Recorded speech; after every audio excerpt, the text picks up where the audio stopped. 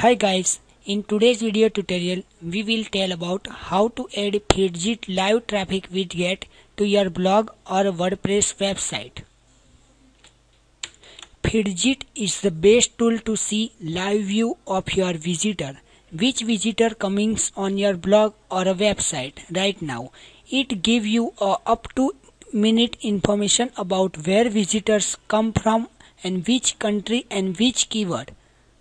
That way you monitor your real visitor. Let's see how to edit.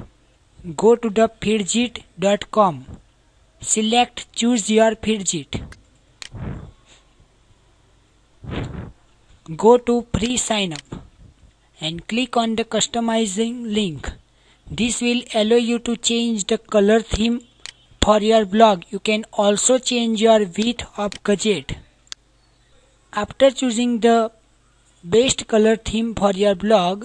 Now come on to install Feedjit on my. Enable the option other blog or a website and click on the go button. Click on that code and copy to your clipboard. Open the blogger.com and go to the layout section.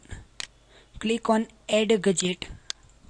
From drop down menu select HTML oblique JavaScript. Enter that code which you copy earlier and click on the save button. Now check your blog. Your Feedjit live traffic widget are added to your blog. That's it. If you find any difficulty to add Feedjit live traffic to your blog or a website, comment below in this video section. Thank you.